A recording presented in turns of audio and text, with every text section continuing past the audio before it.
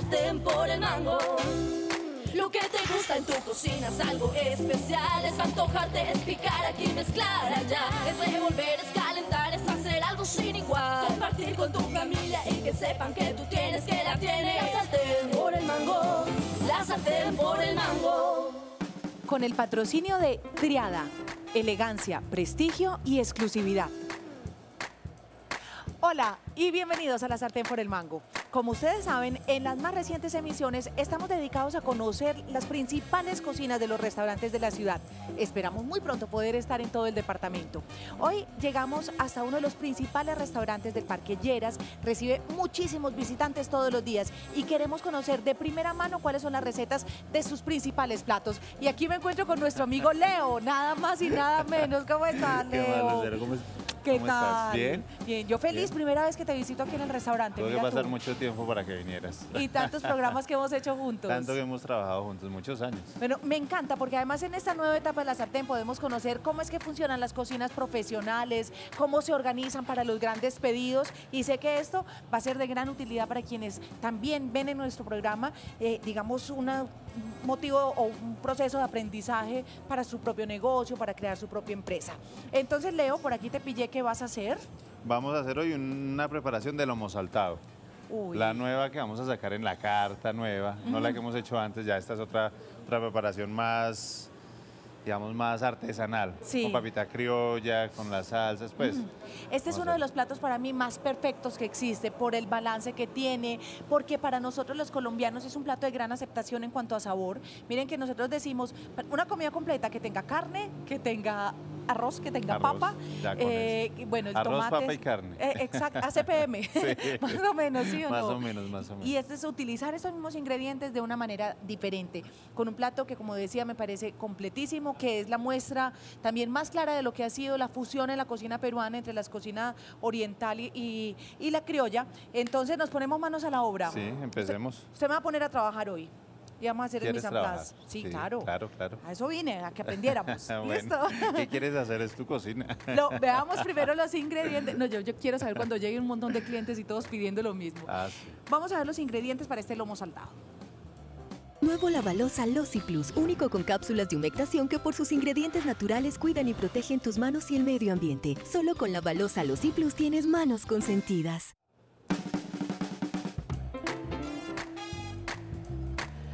Bien, aquí estamos entonces en compañía de Leo, nuestro chef. Ya vieron los ingredientes, son comunes a todos. Y este programa, pues, tiene de especial algo que nos han pedido los televidentes. Ah, es que si tienen todo picado, es muy fácil.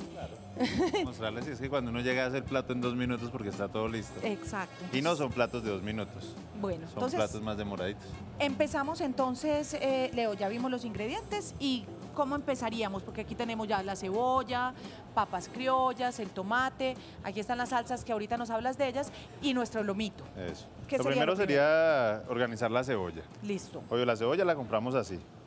Pues en los supermercados ya no la venden limpiecita. Entonces lo que vamos a hacer es, vamos a quitarle el ombliguito, vamos a sacarle el centro y la vamos a picar. ¿Cuál es el ombliguito Ya de la te lo muestro. Listo. Listo. Entonces lo primero es que cortamos los dos extremos, Sí. los rabitos de la cebolla. Si tiene ombligo, tiene rabito. Si tiene ombligo, tiene rabito, sí. Acá está el ombliguito de la cebolla. Es este centro de acá, que por lo general pues no es ni tan gustoso ni tan estético, nada. No, no me gusta. Y pues personalmente no me gusta por el corte. Entonces lo que hacemos es separarlo de la cebolla.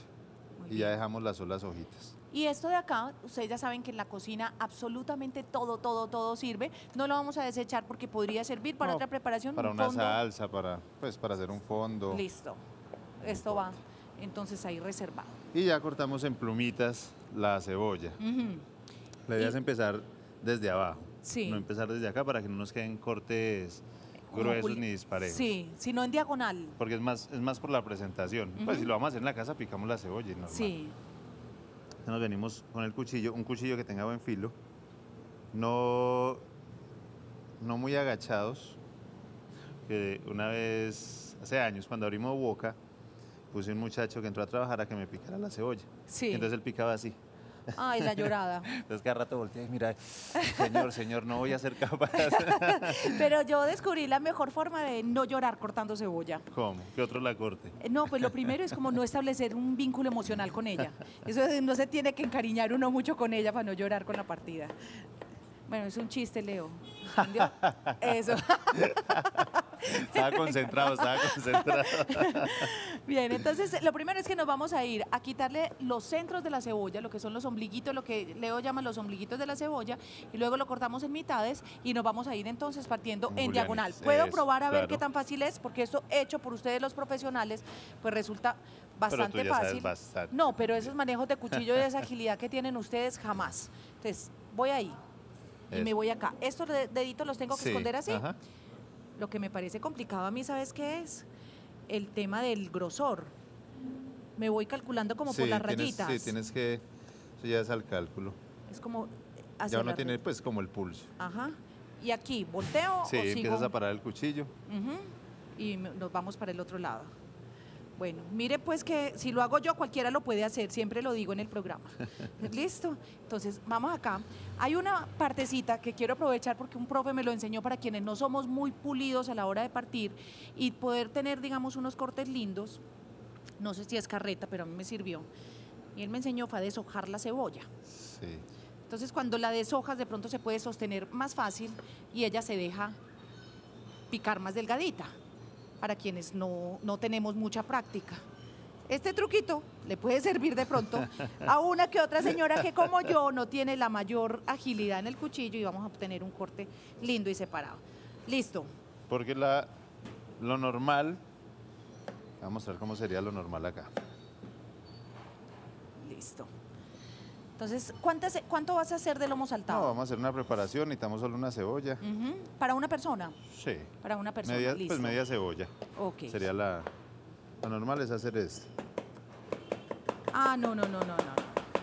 Eso ya sí necesita mucha práctica. Este sería pues como, como lo que nosotros hacemos. Ahora, hay cosas que son básicas de seguridad que uno a veces no tiene cuenta en casa en cuenta en la casa y que me gustaría resaltar. Miren, por ejemplo, que cuando vamos a trabajar siempre necesitamos primero orden en nuestra área de trabajo. Lo segundo es que además de una buena tabla, abajo de la tabla siempre, siempre los profesionales ubican Un trapito, preferiblemente O- o- húmedo, sí, un húmedo. papelito O de una estos de toalla cocina húmeda para que la tabla no se deslice. para que no esté resbalando, porque lo primero que tenemos que cuidar, además obviamente del orden, es nuestra seguridad. Entonces, si la tabla está bailando, si se está resbalando, es muy posible que se nos vaya el cuchillo y podamos tener un accidente que no queremos. Entonces, tenemos la cebolla. Tenemos la cebolla. Listo. Seguimos. Lo que tendríamos que hacer, el paso siguiente sería la papita, porque la papita está cruda y la vamos a freír. Entonces, Sí. poca temperatura para tenerla. Pero como tenemos tiempito, vamos a seguir con el tomate. Listo. Y usas tomate chonto. Tomate chonto normal, no hay Ok. ningún problema. Lo mismo. Este sí es muy sencillo, es cortarlo en, en cuatro, Sí. retiramos la, la semilla, ¿Y con las semillas haces algo? ¿Te sirven salsa para sirve algo? para hacer la napolitana. Ujú.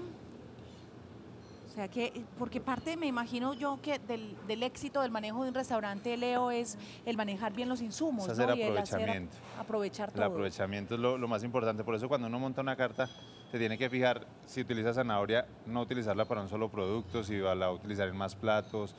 No es recomendable tener productos para un solo plato. O sea, eh, digamos... Incrementa el eh, stock, los costos, hace de todo. Listo, entonces miren que ahí van, van claves, que sepamos entonces que son productos que se pueden aprovechar en diferentes recetas y en diferentes formas, porque Sí, que todo también que tiene que verse diferente. Por ejemplo, nosotros en, eh, acá teníamos una carta pues, súper grande que tú sabes que era como de 170 platos, como con 200 productos diferentes. Hoy en día vamos a quedar como con 70 platos y alrededor de 40 o 50 productos nomás. ¿Y cómo calculan ustedes cuánto comprar? O sea, ¿cuánta gente cabe aquí en el restaurante cuando están llenos? 240 personas sentadas. Pero no siempre están las 240. No, ¿Cómo, siempre hay haces, más. ¿Cómo haces tú para calcular Se cuánta hacen, carne se comprar, hacen unos stocks de, tomates? de- de compras de la semana. Entonces, por ejemplo, nosotros hacemos dos pedidos a la semana. Se hace un pedido de domingo que, que tiene que durar la mercancía lunes, martes y miércoles. Se hace otro pedido el miércoles para trabajar jueves, viernes, sábado y domingo. Más grande ese pedido. Entonces uno mira las ventas de los fines de semana, coge la mejor venta de un fin de semana y la venta más mala y hace un stock. Un promedio, o sea, Promedio. promedia esas dos. Y es lo que uno se basa, entonces, por ejemplo, nosotros gastamos 90 kilos de solomito un fin de semana, 30 kilos de tomate, pues empezamos a hacer toda la lista y se hace el pedido para funcionar con eso y un poquitico más, que quede un poquitico para no estar muy cortos. Porque es terrible uno llegar a un negocio y pedir un plato de su favorito y que justo Por no ejemplo, esté. nosotros ahorita Semana Santa, eh, todos los proveedores se fueron a descanso y nosotros abrimos toda la semana. Que Nos tocó prepararnos con mercancía y Semana Santa estuvo súper bueno. O sea, Contrario al año pasado, que pensamos que iba a estar muy suave, llenos jueves, llenos viernes, Oh. llenos sábado, llenos domingo. Tocó salir a pescar a todos. Entonces a mí me tocó, obvio, me quedé cortico porque pedí mercancía para todo el fin de semana, pero, pero no lo que esperábamos, fue demasiado el trabajo que hubo. Es que eso de manejar un restaurante tiene su cuento. Bien, Bueno, tiene la cebolla, el la- tomate, tomate le quit- primero en la cuartos, semilla. la semilla y, Y, luego... ahora lo partimos a la mitad y en cuadritos. Ah, listo. No hay necesidad de quitarle la piel. De No, hecho, pues no. el lomito saltado original Sí. no, no tiene tanto pulimiento. Incluso hasta lo usan con semilla. Con la semilla, nosotros lo estamos haciendo con la semilla directo, pero ya pues por la presentación nueva lo vamos a hacer así. Muy bien. Nuestras papitas las vamos a partir. Listo. ¿Las usas con piel y todo? Sí, Sí, la papita criolla con piel es muy rica. es lo mejor. Listo. Y nos vamos en cuartos también. Ay, venga, que esa sí la puedo hacer. Listo. Gracias, chef. Entonces nos vamos, mire, que, que es facilito. Aquí, ¿cuántas voy a calcular por persona? Son dos papitas por persona. Son dos papitas por persona. Entonces, una y otra. Y estas van a ir eh, A la freidora. a la freidora, o sea que tendría que tener aceite eh, calentándose Sí. a muy buena temperatura. Sí, Bueno, ya la tenemos lista pues. aún nos falta la carne, nos falta Falta hablar la del ají amarillo, que es parte importante de esta, Es lo más importante de la preparación. de esta receta. Ese es el toque. Si no está el ají, pues podemos utilizar otra cosa, pero no, no, No da, no da. tan rico. Mejor este. Bueno, pues. entonces nos vamos a ir a la pausa y al regresar, Leonardo continúa enseñándonos cómo hacer este lomito saltado. Fácil, miren que desde el principio les estamos dando gusto y contándoles cómo se hace cada paso. Así que no se nos muevan, que regresamos con más de la sartén por el mango. Pero antes, les quiero recordar que aquí en Medellín hay un lugar especialísimo que se llama Mundo Dulce, donde van a encontrar todo lo que necesitan para sus postres, para las tortas y esas preparaciones dulces tan ricas. Queda en Medellín y los encuentran también en el Facebook. Ya volvemos. Por el mango, la sartén por el mango.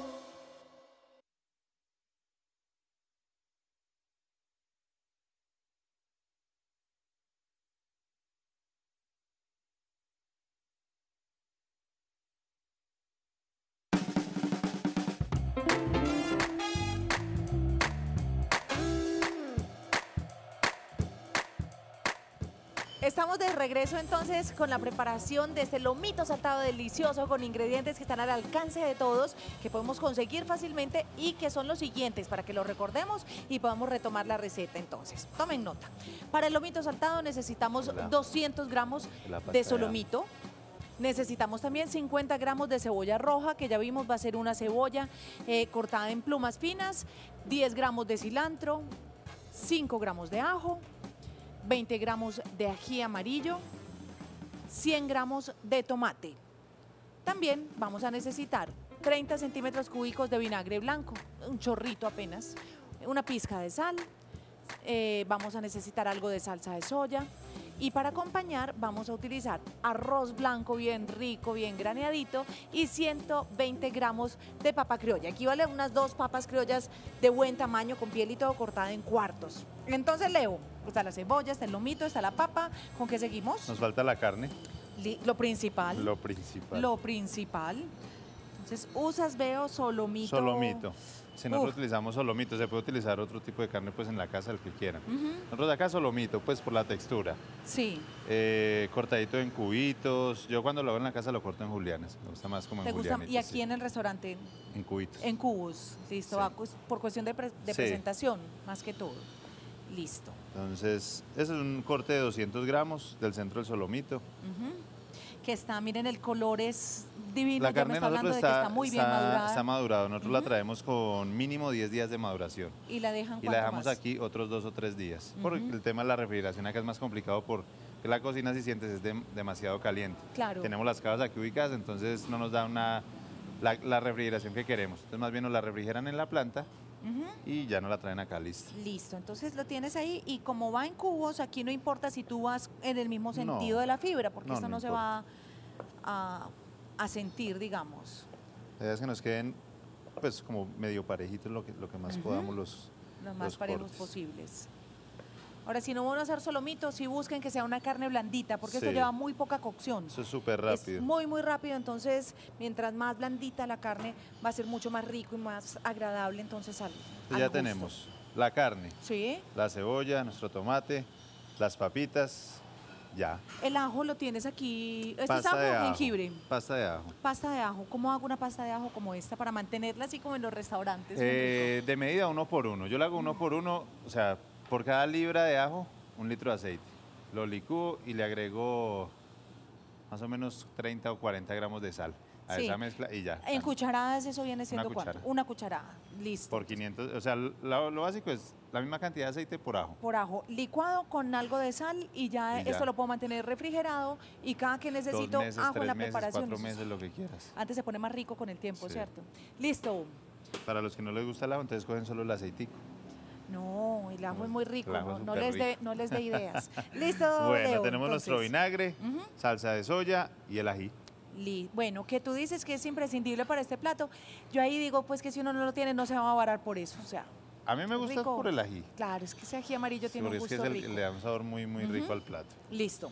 Listo, ya es empezar con el proceso. Dale, dale, Bueno. te sigo. Entonces, lo primero que vamos a hacer, vamos a poner, ah, vamos a prender la, La freidora, que también freidora aquí entonces empezamos a ver parte ya de los equipos fundamentales que tiene que tener una cocina profesional y la distribución, que si bien vamos a encontrar, eh, no sé, cocinas en L, cocinas en U, cocinas en paralelo, pues es importante que digamos que toda la zona de, de cocción, toda la zona de calientes esté distribuida en un orden sí. pues lógico y que estén juntas, ¿cierto? Nosotros, por ejemplo, tenemos acá la parte de la parrilla que es súper grande, igual es demasiado grande esta parrilla. Sí, Eh, la de, la- La los, de los fogones, que es una buena estufa de seis puestos. Incluso podría ser, esta tiene siete, sí. podríamos tener una más grande por, por el tipo de... Porque es lo que más se usa. Sí. Lo que Sí, más porque se usa. en la noche cuando estamos full eh, faltan fogones. Pues, Pero es muy difícil también tener una estufa más grande. Estas Claro. estufas son- primero son súper costosas. Y manejarla Y también. manejarla es muy Todo en complicado. simultáneo. Y aquí ya tienes, son las Y tenemos freidoras. dos freidoras. Ajá.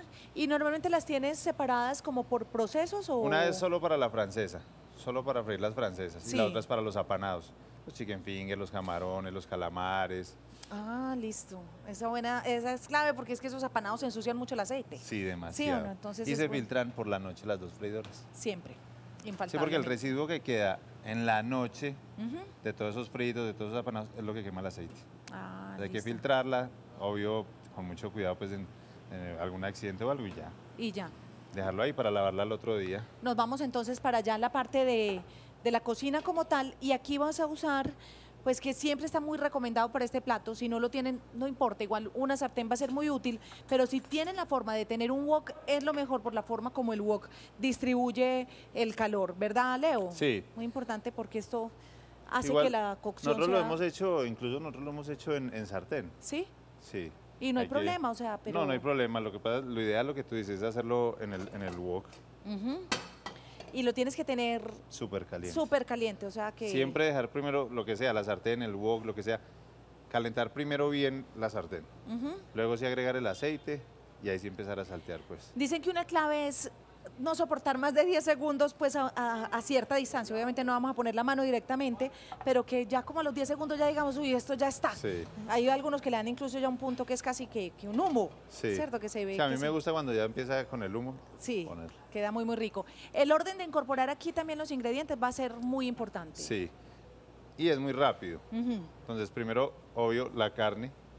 Vamos a poner primero las papitas en la freidora, que es lo más demorado, para que nos dé la cocción apenas. Sí, La carne, luego la cebolla, le ponemos el ajo, le ponemos la salsa de ají amarillo, el tomate, vinagre, la soya y por último las papitas. y el cilantro ya Y el cilantro ya que fresquito encima. allí, Listo. encima. Y el arroz obviamente ya tiene que estar. Sí, eh, el arroz ya lo tenemos, pues aparte sale aparte caliente, porque es arroz blanco, pues no, no tiene ninguna preparación. ¿Sabes cómo lo sirven allá en Lima tan rico el arroz con chocolo? Con chocolate. O con choclo, porque Sí. ellos no le dicen chocolo, sino el, el arroz con choclo, así desgranado y te digo pues que es la locura como Yo que no he sacado la carta todavía puedo hacer. hacerle arroz con choclo, te vas a acordar de mí porque así es como lo sirven allá. Entonces Nuestras va la papitas. freidora. Papitas, ¿cómo sabes cuando ese aceite está caliente? Eso, Ah, ya Ah, tiene un termostato. Sí. Alfredo tiene un termostato y pues él gradúa la temperatura, yo lo tengo en 350. Listo. Entonces no, nos ponemos aceite. Hay que ser también generosos con el aceite en esta parte porque el lomito saltado tiene ese toquecito así rico que hace que los ingredientes Bueno. queden sueltos. La carne, A la carne no le has puesto ni sal, no, no, le has le, puesto le voy a nada. aplicar la sal. Siempre me gusta antes de que se selle la carne poner la sal.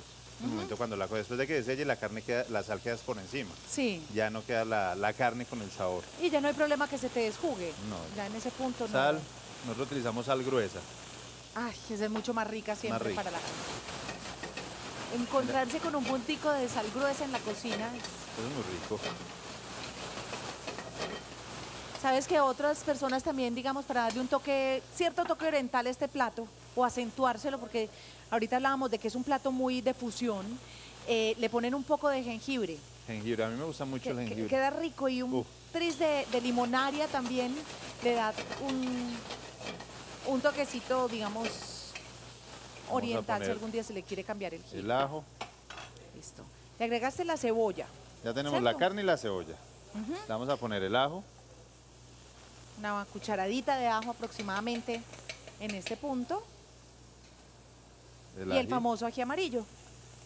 Nosotros lo, lo- nosotros lo estamos utilizando fresco, pues cortadito en julianas. Y decidimos cambiarlo por la pasta ya. Preparar toda la pasta y tenerlo. Y ha gustado. Porque de pronto sentirlo entero para mucha Sí. gente no es... el y lo consiguen fácilmente ya aquí, Leo. Sí, ¿Se aquí ya se está consiguiendo. Hay una persona que lo está haciendo en Río Negro. Ajá. Ay, qué bueno. En Río Negro, Rico tener el no contacto sabía. para compartirlo Ahorita con te los... doy el número. Porque yo he visto que ya, por ejemplo, en Cali lo están eh, procesando también y lo venden en bolsitas como tipo Que encurtido. nosotros lo comprábamos en, en Cali. Ujú. Entonces nos demoraba 15 días más o menos el pedido porque la señora, Sí. oh, ah, no, que no hay, que sí hay, que, no alcan- que el cultivo se dañó. Y vinieron a ofrecernos de Río Negro, y es el mismo. Qué Y maravilla. lo están haciendo en Río Le debe Negro. estar yendo súper bien porque con ese boom de cocina Sí. peruana que hay aquí, todo el mundo quiere ese producto. Bueno, ya vamos a arreglar Tomate, el tomate. ese es ya lo último porque requiere muy Ya, poquito esto es de... muy rápido. Por eso revisé las papitas que estuvieran. Ajá. Van con nuestras Y papitas. ya están tomando ese doradito delicioso. Van tomando ese doradito rico, pero se van otra vez al aceite. Y en este punto entonces paramos mientras están las papas y vamos a hablar un poquito de salud y alimentación, que es tan importante. Y esta nota que tiene información muy valiosa para las personas que sufren de diabetes con la doctora Magnolia, nuestra nutricionista. Entonces volveremos ya de- más adelante con Leo y este lomito saltado. ¿Podemos pararlo en este punto? Claro, no claro. pasa nada, ¿cierto? Le agregaste el tomate y, ahí Le hemos vamos. agregado la salsa, que es lo importante, que no se nos reseque. Listo. Entonces vamos teniendo a mano el vinagre, vamos teniendo a mano la salsa de soya, pero antes vemos esa nota entonces hablando de la alimentación en las personas con diabetes con la doctora Magnolia.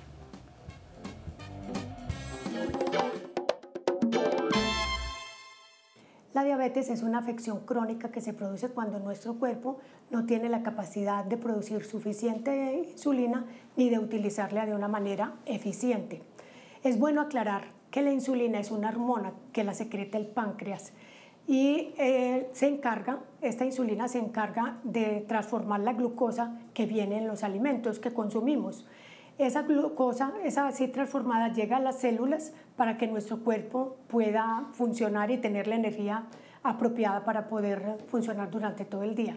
Existen tres tipos de diabetes. La diabetes tipo 1, también llamada diabetes mellitus tipo 1, es una enfermedad autoinmune, es decir, la persona nace con esa deficiencia en la producción de la insulina. El páncreas no tiene la capacidad de producir insulina.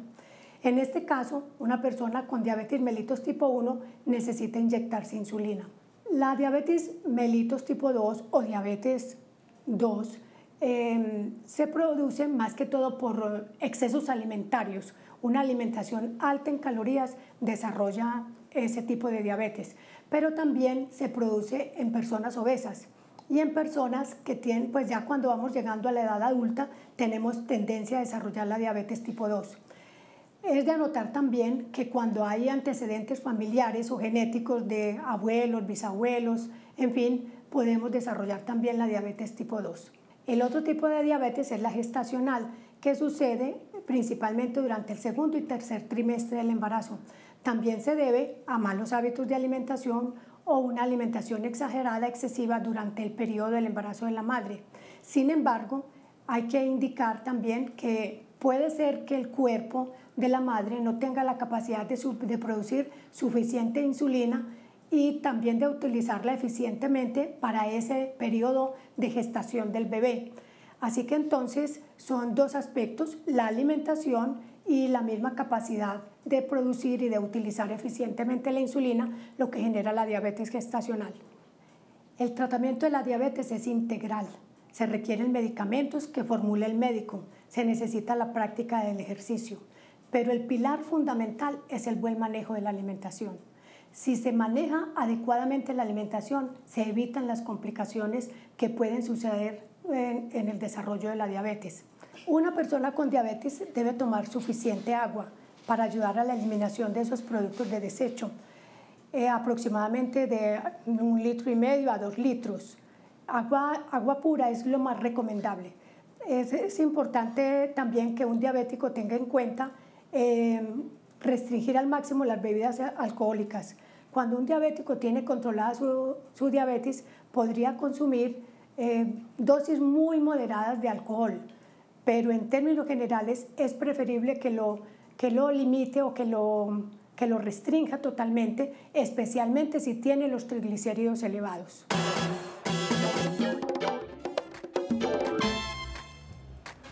Ahí aprendíamos en esta sección Dime lo que comes, pues claves muy, muy importantes en la alimentación de las personas con diabetes y me comprometo a conseguir un experto en el tema de la preparación de alimentos eh, para las personas o esta población que sufre de diabetes, así que compromiso. Pero aquí retomamos este lomito saltado. Listo, Leo.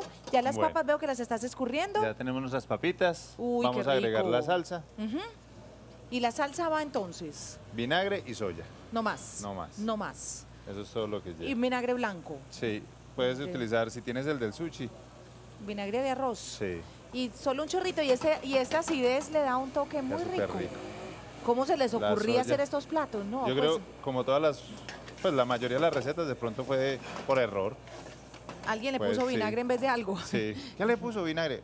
Sí, déjelo así. Déjalo así, que así está muy bien. Ya las papitas. Y van mezcladas ahí en el lomito para que se junten con ese juguito bien, bien rico.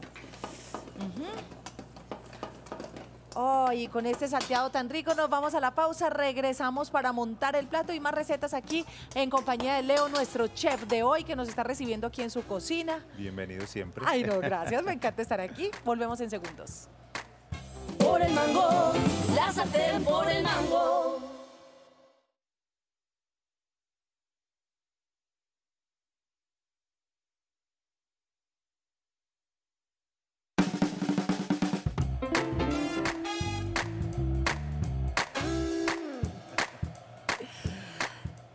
Esto está sencillamente delicioso. Vieron lo fácil y lo rico que es preparar ese plato, de esos platos agradecidos. Servimos. Ya emplatamos. Y para emplatar, es un plato lindo, pero en la casa cada quien con lo que tiene. Lo importante es ponerle mucho amor a la cocina. Ah, que lo hagan con mucho cariño. ¿Sí o no? con mucho, mucho cariño, que la mesa esté puesta, bonita, que todo esté listo, porque la comida es muy importante como centro también de reunión familiar. Sí. Y, Miren qué rica esa salsita, cómo se reduce. Y le vas a agregar entonces el cilantro, que era el único ingrediente que vimos en el listado que no has incorporado. Cilantro no picarlo mucho para que no nos ponga amargo. Una sola pasadita. Y casi que en el momento de usarlo. Sí, como nos quede en la, en la pasadita y ya. Y así enterito es que se siente rico el cilantro. Y vas con el arroz, que acuérdate entonces de mi recomendación del arroz con choclo. Ah, sí, voy a, hacer eso. Como no he sacado la carta, todavía estoy a Y lo pones así en la carta, con choclo. Sí. Voy a hacer eso. Buen consejo. ¿Nos vamos? Listo, estamos listos. Bueno, estoy lista también para probar. Pero nos vamos con los siguientes ingredientes. Era un solomito triada absolutamente delicioso, muy balanceado, muy, muy variado en sus ingredientes, que son los siguientes. Bien, para el solomito triada, perdón, necesitamos 200 gramos de solomito, necesitamos palmito de cangrejo, camarones, raíces chinas, 60 gramos de champiñón, 50 gramos de salsa teriyaki, 150 centímetros cúbicos de crema de leche, 5 gramos de sal parrillera y 30 centímetros de salsa de soya. Entonces veo que aquí ya tienes tu mise en place completamente listo. Voy a poner esto por aquí, listos. Leo, y ahorita los, lo disfrutamos, nos sentamos a comer y a conversar. Y entonces, ¿cómo empiezas Bueno, aquí? ya tenemos el solomito igual del centro. Este lo tenemos abierto. Este ya si lo cortaste fue sí, ya lo abrimos abriéndolo. para poder rellenarlo, porque este lleva por dentro, lleva los camarones y lleva los palmitos de cangrejo con un Uh. poquito de salsa teriyaki. ¡Qué delicia! Entonces, y ya tenemos nuestros camarones, el palmito picadito. Este es del, del palmito nacional, no hay ningún problema en utilizar ese. Ay, ¿Y cómo lo diferencias? Hay palmito nacional y el y el importado, el obviamente, que viene de hicimos la dónde? otra vez el de Ah, el que se deshilacha. Listo. este, Ah, me este encanta. no sirve para eso. Listo. Entonces aquí ponemos unos... Y esos palmitos, como ya son un procesado, ellos no necesitan No, cocción inclusive. O sea, nada. ahorita Y van a los llevar... camarones ya están precocidos. cocidos. Se dan cuenta que están precocidos por el color, están rosaditos, pero miren que la textura es rica, el olor es agradable. No hay que dejarlos cocer mucho, que no queden muy cauchudos. Esta de acá es la salsa Este teriyaki. teriyaki. La teriyaki ya lo consiguen también en todos los supermercados fácilmente. Si por algún motivo no la tienen, no se varen. Salsa de soya y miel les va a reemplazar un poquito no, eso. No hay problema. Y ya lo que vamos a hacer es enrollar. es envolverlo. Listo. Y para envolver Acá entonces llevas ensuciamos. extremo. Sí, empezamos a cerrar. Por eso se abrió tanto para poder que nos dé como, como la formita. Muy bien, que no se te salga el relleno. Vas. Y esto va a ir a la parrilla. Este va a la parrilla y ya la, la siguiente preparación, la salsa, la base, ya todo es en, en, pues en el fogón normal. Listo. Entonces lo vas a asegurar con algunos palillitos para que el relleno quede allí. para que no, se nos vaya a salir. Y en cuanto a los vegetales, tienes entonces las raíces chinas, tienes los champiñones, que estos sí los vas a saltear. Sí, ese sí va a saltear.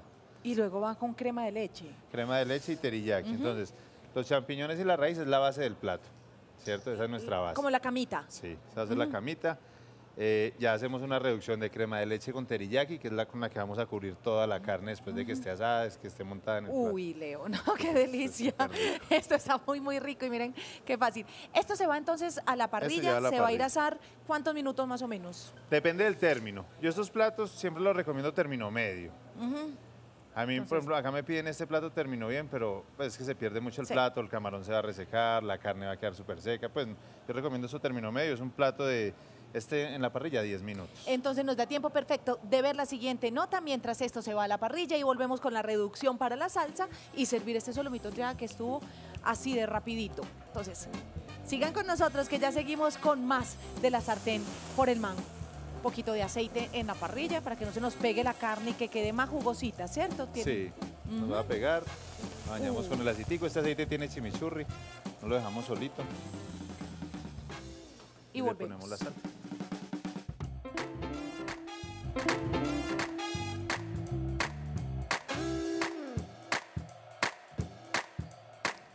Y en la sartén por el mango vamos ahora con unos consejos de seguridad para quienes gozamos de los servicios del gas natural. Estoy en compañía ya de Juan Carlos Gómez Calle, quien es gerente de gas de la región metropolitana. Y vamos a hablar de lo importante que es la revisión técnica, los requisitos y cómo se lleva a cabo una revisión. ¿Cómo está Juan Carlos? Bienvenido. Lucero, muchas gracias por la invitación. Para empezar, ¿qué es una revisión técnica y por qué debe hacerse? Lucero, una revisión técnica es una verificación a las condiciones internas de la instalación, es decir, la verificación de todo el sistema de gas en la instalación, en la vivienda de los usuarios, para garantizar que se cumpla la normatividad y la seguridad de los usuarios, de, de los clientes y de las personas que habitan en él. Eh, entiendo que a partir del primero de mayo va a haber cambios en la regulación y en la forma como se hace la revisión técnica. ¿En qué va a cambiar? Eh, básicamente, la Comisión de Regulación de Energía y Gas emitió una resolución que hace que la revisión periódica sea responsabilidad del usuario. Hasta hoy, la revisión periódica es responsabilidad de las empresas distribuidoras y somos nosotros los que hacemos la programación, le escribimos al usuario diciéndole qué fecha se va a realizar esa revisión.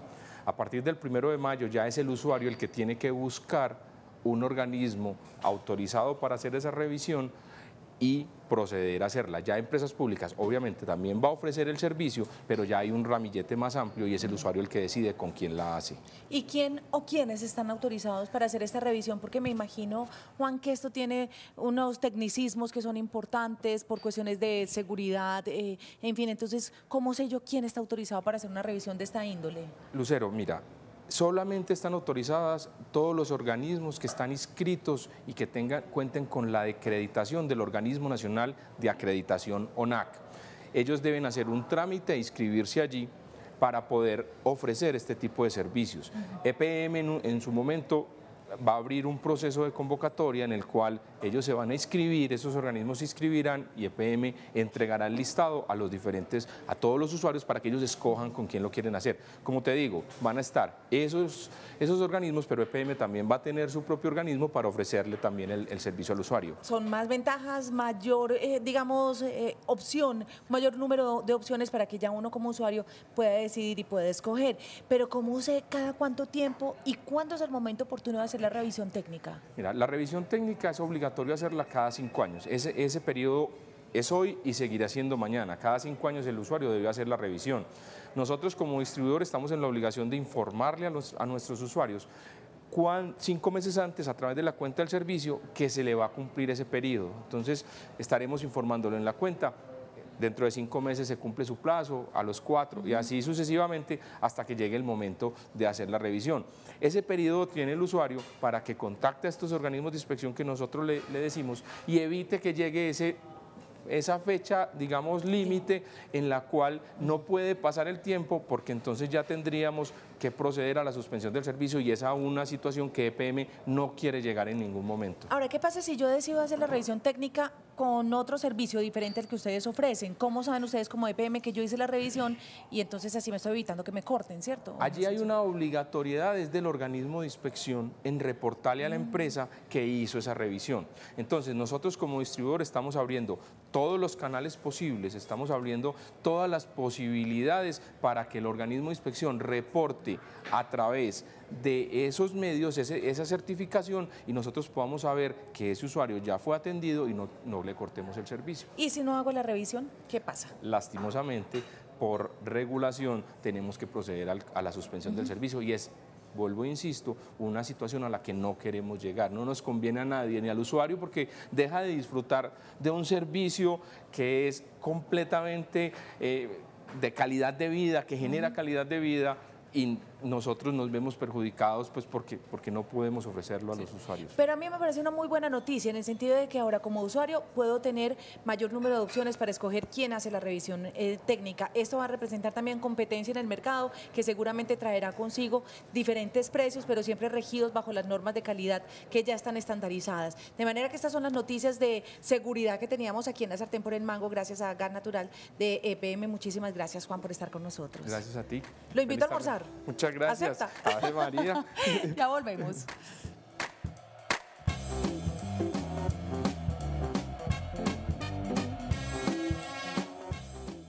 Por el mango, la sartén por el mango.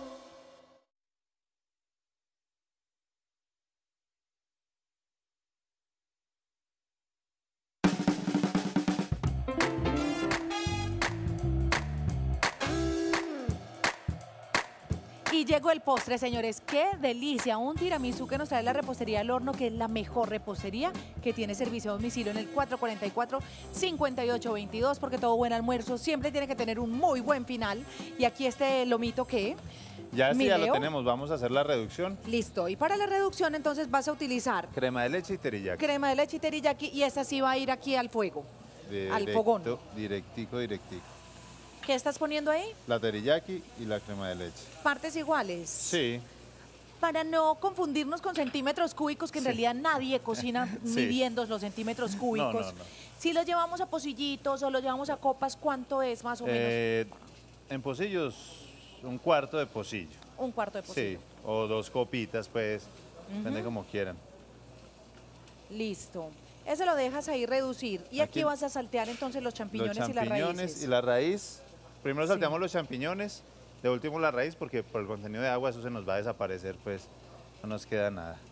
Listo. Y ahí Soltamos lo reduces, dejas Le mermamos. a fuego muy ahí. bajito ya. Listo.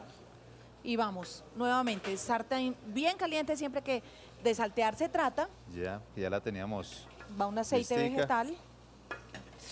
Algo muy duro también es el trabajo en las cocinas. El calor El que se siente acá no se compara con No, y es que esta la tenemos, la freidora, los fogones, la parrilla, tenemos el horno ya prendido. todo el calor está full. Entonces, Estamos listos. es un trabajo pesado. o sea, Sí. ahorita la gente lo toma como es un trabajo de moda. No. La televisión ha hecho que la cocina tenga un glamour especial, pero en realidad No, es un las trabajo cocinas muy es otro, sacrificado, las ¿cierto? cocinas reales es otra historia. Hmm. Aquí porque organizamos la cocina y mira que estamos solos, no estamos pues con toda la capacidad Sí. De los fogones ni nada. Estamos aprovechando que no es una hora pico del restaurante Ajá. y podemos apropiarnos del restaurante. Entonces, ¿le pusiste solamente aceite? Le pusiste los champiñones y ahora las raíces. Y le ponemos la soya. Listo. Y de soya, nuevamente nos vamos unas dos, Sí. tres cucharadas. Y está listo. Uy, qué rico. Ya, no es más. Podemos dejar más, ya ¿Nos es vamos a servir? Ya vamos a servir. Estamos listos para servir nuestro solomito entonces. Y para eso decías, lo primero, vamos a tener un plato muy, muy lindo y vamos a trabajar en que las vegetales van a ser como una cunita, van a ser la cama donde va. La camita de nuestra carne. No, pero esa camita tan rica. y vieron que las raíces necesitan en verdad muy, muy poca No, las raíces es lo último. Está cruda, se comen ricas. Listo. Luego va Vamos la nuestra salsa. salsa. No reducción de teriyaki, crema de leche. ¿Y qué más le pusiste? Teriyaki, crema de leche. Teriyaki y crema de leche. Y no más. Tenemos ya nuestra carne. Sí, uy, qué rico. Aquí muy importante, le retiramos todos los palillitos. Que no vaya a quedar ni un. Ni uno porque es muy desagradable un palillo por ahí enterrado, ¿no? Y se va entero. Les quiero recordar que hay varias formas en las cuales, con las cuales nos podemos estar comunicando en horas que no son del programa. Una es a través del Facebook. En el Facebook nos encuentran como La Sartén por el Mango. Así como página, le dan me gusta y ahí pueden acceder en el muro a todos los programas que hemos hecho. Día tras día está no solamente el avance, sino que después del programa están las preparaciones. Y también a través de Instagram podemos encontrarnos como arroba La Sartén por el Mango 1 en número para que nos encontremos y les cuento que estamos trabajando fuertemente y muy pronto ya les contaremos acerca del micrositio que tendremos directamente en la página del canal para que vean la repetición de los Bueno. programas. Y aquí ya. No, Leo, ¿qué es esta Bañamos. delicia? Esto ya si no lo acompañas con nada más. No, ya. Este No. ya sale así. No lleva ningún otro acompañamiento. Pues ya sería demasiado. Ya, ya es mucho, pero todo tan bueno que uno dice con las cosas tan buenas nunca es demasiado. ¿Sí o no? A pintar con salsa, algo también que se está viendo muy lindo, muy moderno ahora. Chef, qué rico que me hayas recibido aquí en la cocina del restaurante. Para mí es un placer tenerlos me por acá encanta. siempre. Esta es la casa de ustedes. Esta es su cocina. y Cuando ya la sabe, necesiten. ya sabe lo que hay que hacer aquí cuando estamos en el programa y las cosas salen tan bien. Choque los cinco. Choque Choque los cinco cinco. Me encantaron estas recetas ricas, que las disfruten, que las preparen, que cocinen rico, que coman delicioso y que compartan con los suyos. Los queremos mucho. Nos vemos. Chao.